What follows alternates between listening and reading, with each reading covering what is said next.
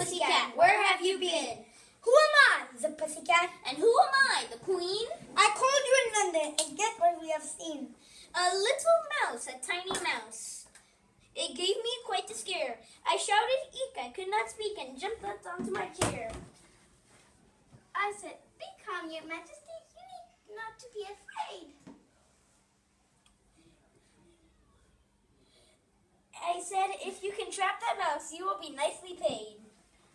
The mouse said, Please, your majesty, this comes as a surprise, for I am just a little mouse, and you're ten times my size.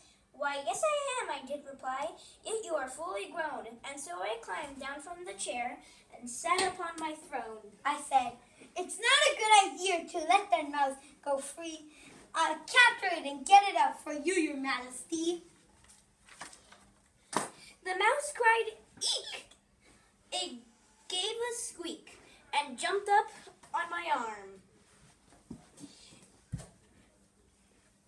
I gave a poor look and looked at her. She was a tiny beast, while I was a large and rather plump, five times her size. Let's all be friends, I said to Cat. Come here and sit with me.